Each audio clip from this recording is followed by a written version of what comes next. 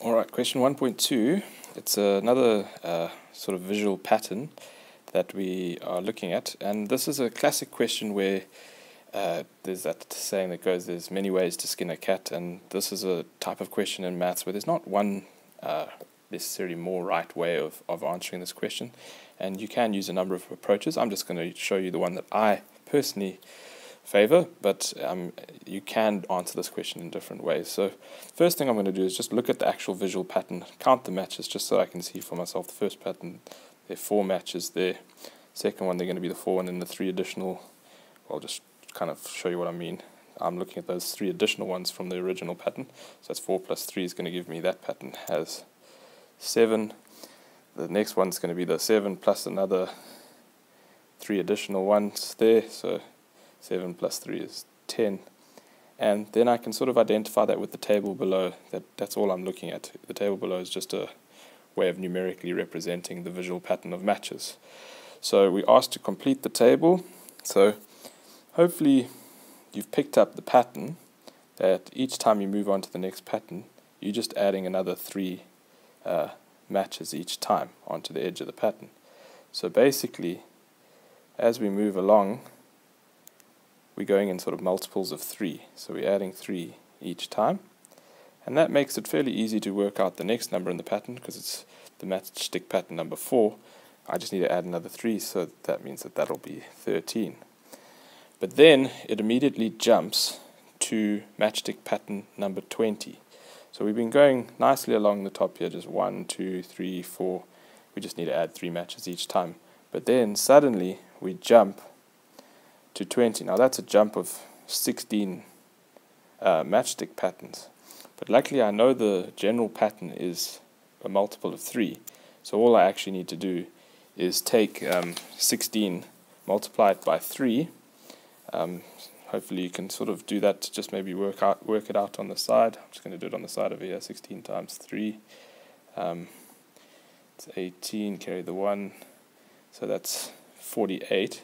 So basically to get from here to here, I'm actually adding 48 because I'm doing I'm going up 16 patterns. Um, so then I just need to add 48 to 13, um, and then 48 to 13 is going to be 61. Okay, and then here comes the definitely one of the trickier questions you get in this section of maths is where we're actually given now the number of matches um, and we have to work out which matchstick pattern. So we're basically working in reverse. Now, the way I would do this, I would actually answer the next question first. I'd find the formula and then use that. But if you don't have the formula, what you do know is that our starting point is 4. So what I'm going to do, and I actually don't really have any space to show you this, um, let me just make a little bit of space up at the top here. Um,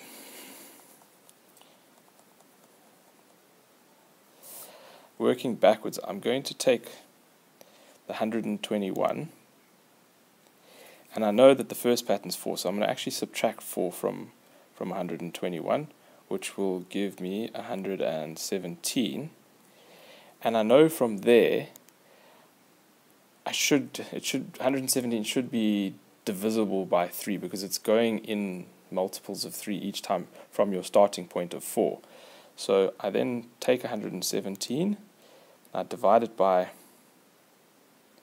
divide that by 3, and that will give me 3, carry the 2, 3 goes in 27, 9 times.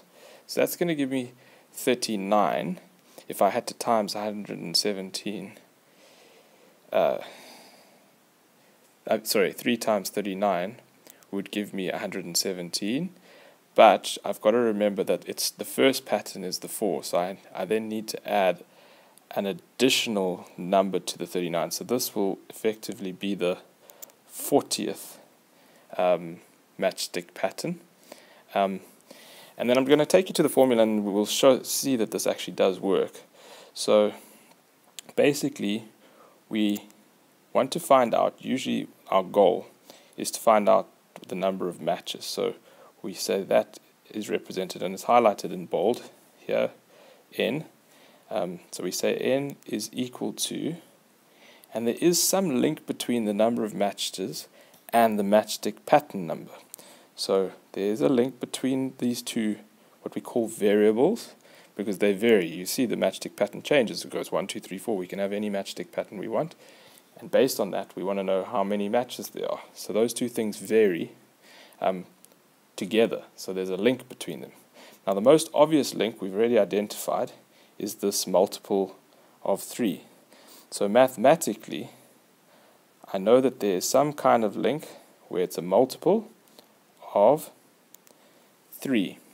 But now, if I had to use substitution, and I just take the first example where there's matchstick pattern number 1, and there are four matches, if I substitute matchstick pattern, which is number 1, is t, so if I put a t, t is equal to 1, 1 times 3, 1 times 3 is 3. However, it's telling me that it should be 4.